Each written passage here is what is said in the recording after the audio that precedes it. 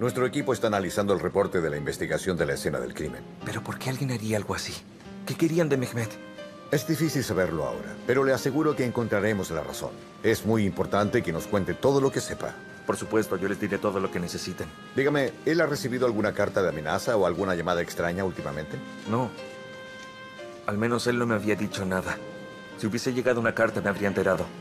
Eso no es posible asegurarlo.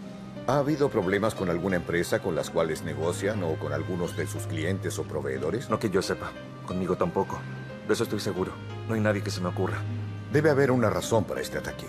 Creo que debe pensar en todos los escenarios posibles. Tomaremos en la declaración de la familia Sadoglu y los empleados de la empresa. Ahora estamos en un callejón sin salida, pero lo vamos a resolver.